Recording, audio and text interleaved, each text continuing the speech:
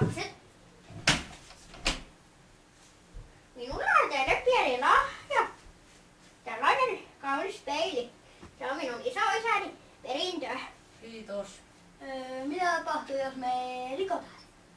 Silloin tapahtuu kauheita. Siinä se Siis muistakaa lapset, sitä ei saa missään tapauksessa rikkoa.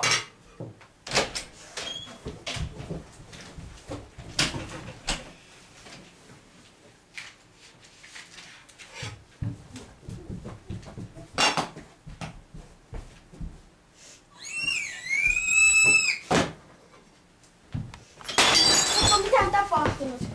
Ihan huono kirja.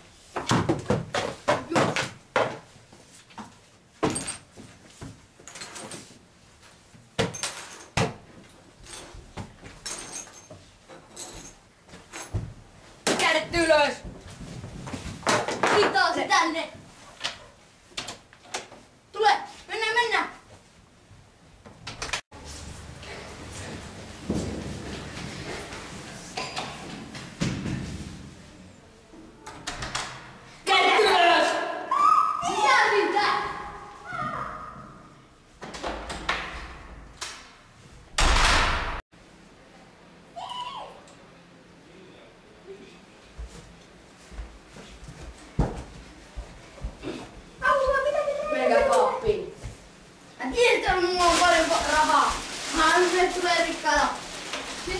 Siitä!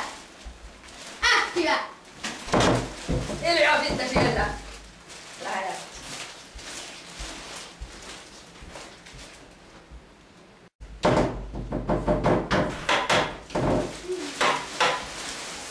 Mitä se poppaa, kun siellä yrittää? Seis!